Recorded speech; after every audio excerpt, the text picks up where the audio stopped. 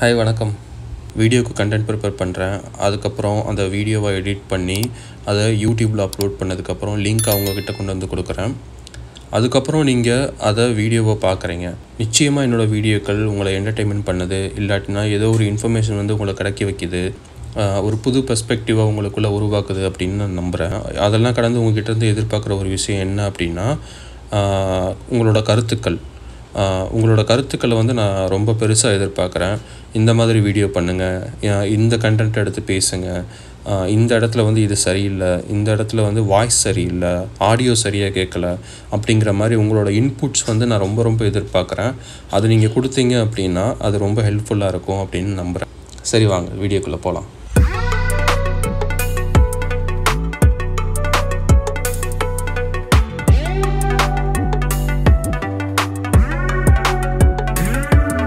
Stranger திங்ஸுக்கு வந்து ஏன் ஒரு மூவி எக்ஸ்பீரியன்ஸ் வீடியோ பண்ணணும் அப்படின்னு எனக்கு தோணுச்சு அப்படின்னா ஒரு சீரீஸ் எடுத்துக்கிட்டீங்க அப்படின்னா பொதுவாக எட்டு எபிசோட்ஸ் இருக்கும். எட்டு எபிசோட்ஸில் வந்து நாலு எபிசோட்ஸ் வந்து இன்றைக்கி பார்க்கலாம். நாலு எபிசோட்ஸ் வந்து நாளைக்கு பார்க்கலாம் அப்படின்னு முடிவு பண்ணிவிட்டு அந்த எபிசோட்ஸை வந்து ஸ்டார்ட் பண்ணிட்டீங்க அப்படின்னா கண்டினியூஸாக எட்டு எபிசோட்ஸுமே பார்த்து முடிச்சுட்டு சீசன் டூக்கு வந்து நீங்கள் ஜம்ப் ஆகிற அளவுக்கு அது வந்து உங்களை கட்டி போட்டுச்சு அப்படின்னா அதுதான் உங்களுக்கு பொறுத்த வரைக்கும் த பெஸ்ட் சீரீஸ் அப்படின்னு சொல்லலாம். அந்த ஒரு எக்ஸ்பீரியன்ஸ் தான் இந்த சீரீஸில் வந்து எனக்கு கிடச்சிது.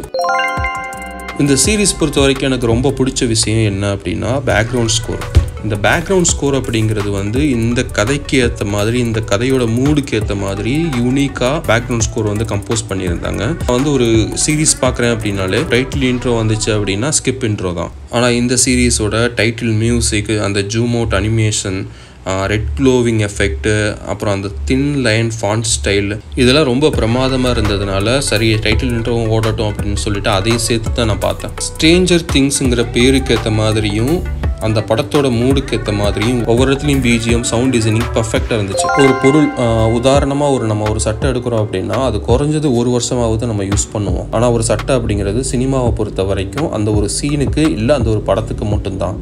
இப்போ நம்ம ஊர் சினிமாவிலே எடுத்துக்கிட்டோம் அப்படின்னா விஜயோ அஜித்தோ வந்து ஏதோ ஒரு படத்தில் யூஸ் பண்ண அந்த ஒரு சட்டையோ இல்லை ஒரு வேறு காஸ்டியூமோ வந்து இன்னொரு படத்தில் யூஸ் பண்ணியிருக்க மாட்டாங்க. சட்டை அப்படிங்கிறது வந்து ஒரு சிம்பிளான உதாரணம் தான். கத்தி படத்தில் கிளைமேக்ஸில் ஒரு ஃபைட் சீன் வரும். விஜய் ஒரு குடவுனில் வர வச்சு அந்த ஃபைட் சீக்வன்ஸ் நடக்கும். அந்த சீனில் அந்த குடவுனில் கிடக்கிற திங்ஸ் எல்லாம் அப்படியே கவனிச்சிங்க அப்படின்னா விவசாயிங்க கிட்ட இருந்து அடாவடித்தனமாக பிடுங்கிட்டு கொண்டு வந்த மாட்டு வண்டி சக்கரம் உழவு ஏறு அப்படின்னு சொல்லிட்டு விவசாயம் சம்மந்தப்பட்ட அத்தனையுமே குவியல் குவியலாக கிடக்கும். இப்படி ஒரு இடம் எங்கே இருக்க போகுது? அந்த படத்துக்கான செட்டு தான் அத்தனையுமே. இந்த படம் முடிஞ்ச பிறகு அதெல்லாம் என்ன பண்ணுவாங்க? ஒரு சீனுக்காக நம்ம காசு கொடுத்து வாங்க முடியாது. எப்படியும் வாடகைக்கு தான் வாங்கியிருக்கணும். வாடகைக்கு வாங்கினதுக்கப்புறம் அந்த சீன்ஸ் முடிஞ்சதுக்கப்புறம் திரும்ப அவங்ககிட்டயே கொடுத்துருவாங்க. இல்லை அப்படின்னா அதெல்லாம் வெறும் அட்டையாக இருக்கலாம். எப்படி பார்த்தாலுமே அதெல்லாம் வந்து ஒரு படத்துக்காக மெனக்கடல் தான். எவ்வளோ உழைப்பு எவ்வளோ பேரோட உழைப்பு இதெல்லாம் மனசில் வச்சு தான் நம்ம ஒரு படத்தை தேட்டரில் பார்க்கணுமா இல்லை டவுன்லோட் பண்ணி பார்க்கணுமா அப்படிங்கிறத டிசைட் பண்ணணும். சரி விஷயத்துக்கு வரலாம். ஸ்ட்ரேஞ்சர் திங்ஸ் வந்து இப்போ நடக்கிற கதை இல்லை. எயிட்டிஸில் நடக்கிற கதை.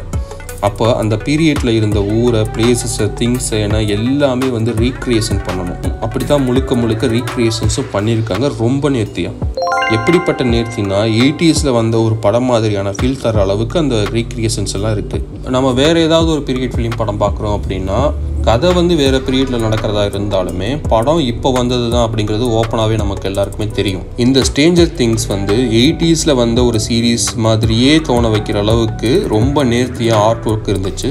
Mall setup street shop costumes அப்படின்னு எல்லாமே ரொம்ப நேர்த்தியாக அட்டகாசமாக பண்ணியிருந்தாங்க.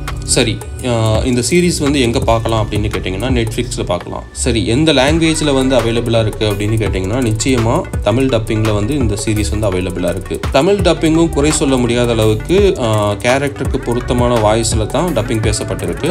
பொருத்தம் அப்படின்னதுமே வந்து எனக்கு ஒரு விஷயம் ஞாபகத்துக்கு வருது. இந்த சீரீஸ் பொறுத்த வரைக்கும் கேரக்டர் சூஸிங் அப்படிங்கிறது வந்து ரொம்ப ரொம்பவே பொருத்தமாக இருந்துச்சு.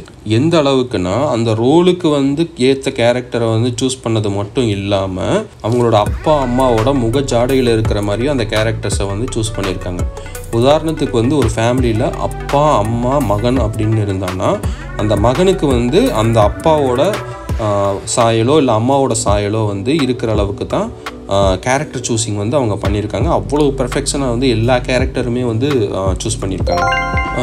சரி இந்த சீரிஸ் பார்க்கலாமா வேணாமா அப்படின்னு கேட்டிங்க அப்படின்னா ஆல்ரெடி வந்து ஏதோ ஒரு சீரிஸ் பார்க்குறதுக்காக சர்ச்சிங் மோடில் இருந்தீங்க அப்படின்னா உங்களுக்கு ஏற்ற ஒரு சீரிஸ் தான் இந்த Stranger Things but it's not suitable for kids அநேகமாக ஸ்ட்ரேஞ்சர் திங்ஸ் சீரிஸ் வந்து பார்த்துக்கிட்டு இருக்கிறதுல நான் தான் தமிழ்நாட்டில் கடைசி ஆளாக இருப்பேன் அப்படின்னு நினைக்கிறேன். சரி right bye I will meet you in another video bye thank